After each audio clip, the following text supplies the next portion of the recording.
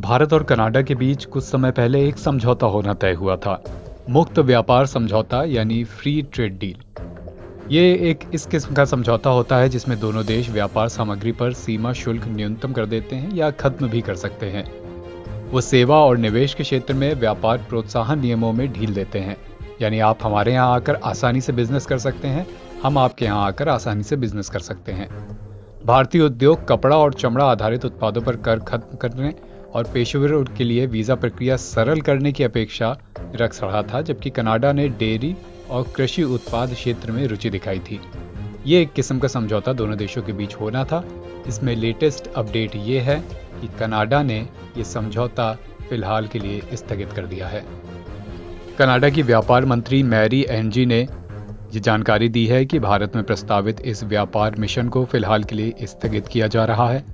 एक अधिकारी ने शुक्रवार को कहा कि वो भारत के प्रधानमंत्री द्वारा नई दिल्ली में जी ट्वेंटी शिखर सम्मेलन में अपने कनाडाई समकक्ष के सामने नाराज़गी ज़ाहिर करने के कुछ दिनों बाद बढ़ते तनावपूर्ण राजनीतिक संबंधों को दर्शाता है।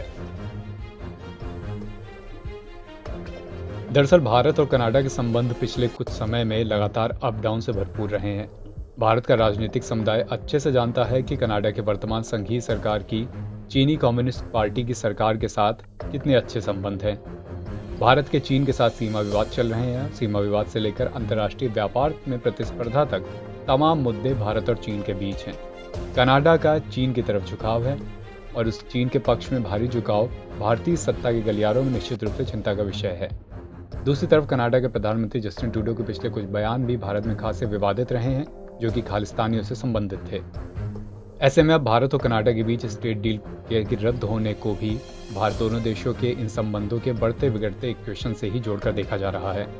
जी ट्वेंटी शिखर सम्मेलन के दौरान भी दुनिया के तमाम नेताओं के साथ औपचारिक द्विपक्षीय बैठकें करने वाले भारतीय प्रधानमंत्री नरेंद्र मोदी ने कनाडा के प्रधानमंत्री जस्टिन ट्रूडो के सामने नाराज़गी ज़ाहिर करते हुए पाँच दिन पहले उनसे केवल एक और छोटी सी ही अनौपचारिक बैठक की अनुमति दी थी।